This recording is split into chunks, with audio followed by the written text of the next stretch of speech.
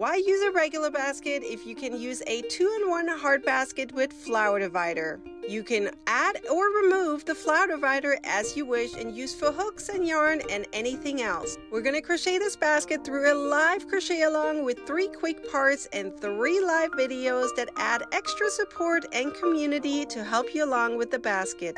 We'll start February 2nd. Come join us for free at the link in my bio right now.